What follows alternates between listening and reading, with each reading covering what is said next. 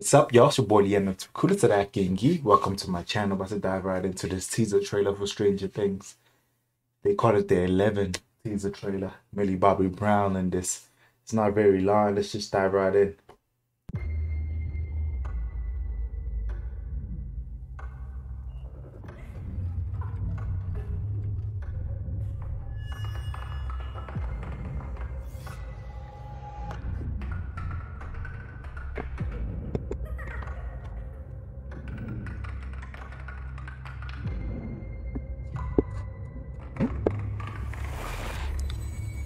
Is she in a mental asylum?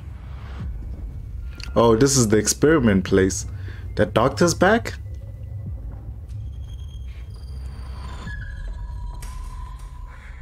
Good morning, children. How are you today? Or is she having nightmares about the way she was raised? I'm glad to hear it because today I have something very special planned for you. Weird correlation, but Homelander and Eleven had the same upbringing. Eleven, are you listening? Is the dude still alive? Is that what they teasing?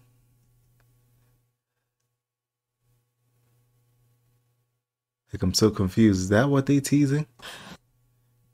Are they teasing Eleven that our scientist dude still being alive and haunting her, or she's just having PTSD? No release date. That sucks, but man, it's probably gonna come out next year though. This is the same as the Hopper teaser. Saw a lot of random stuff.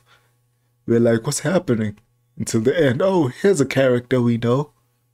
It looks good though. The show's phenomenal, so I'm sold. Even if they just showed me the number 11 at the door.